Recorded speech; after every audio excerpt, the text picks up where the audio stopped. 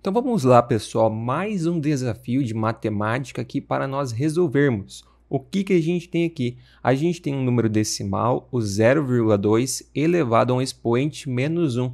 Como que a gente resolve isso, pessoal? Totalmente simples. Toda vez que eu tenho um expoente menos 1, isso indica que nós queremos o inverso desse número. Então, o que, que seria o inverso? Nesse caso, eu tenho 0,2 elevado a menos 1.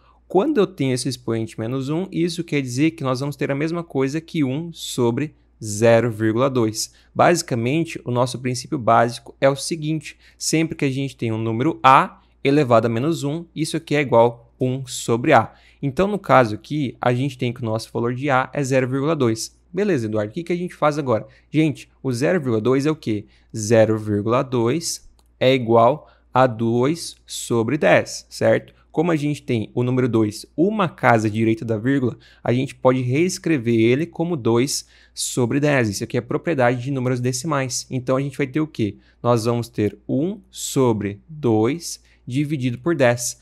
Quando a gente tem uma divisão de frações, o que, que a gente faz? A gente repete a fração de cima e multiplica pelo inverso da fração de baixo. Então a gente vai repetir a fração de cima, que é 1, e vai multiplicar pelo inverso da fração de baixo. O inverso é o que? Inverte a ordem. O que está embaixo vai para cima e o que está em cima vai para baixo. Então a gente vai multiplicar por 10 sobre 2. 1 vezes 10 é 10, então nós vamos ter 10 sobre 2. 10 sobre 2 eu sei que você sabe a resposta, é 5. Portanto, 0,2 elevado a menos 1 resulta em 5. Se o resultado é 5, a resposta correta é a alternativa C. Então seria basicamente isso, pessoal. Essa é a solução de mais um de nossos desafios. Não se esqueça, você quer aprender a matemática que realmente é cobrado na prova do Enem sem perder tempo com relação do básico ao avançado, de uma forma totalmente prática e dinâmica. Conheça a comunidade do ensino de potência. Lá você vai ter um curso completo do básico ao avançado, vai poder tirar todas as suas dúvidas e vai ter muitos outros benefícios que vão ajudar você a aprender matemática. Tudo isso por um preço super acessível. Então não perde tempo, entre agora para nossa comunidade. Link está na descrição e também no comentário fixado. Não esqueça também de se inscrever, ativar as notificações e deixar o seu like, porque assim a gente pode continuar ajudando você.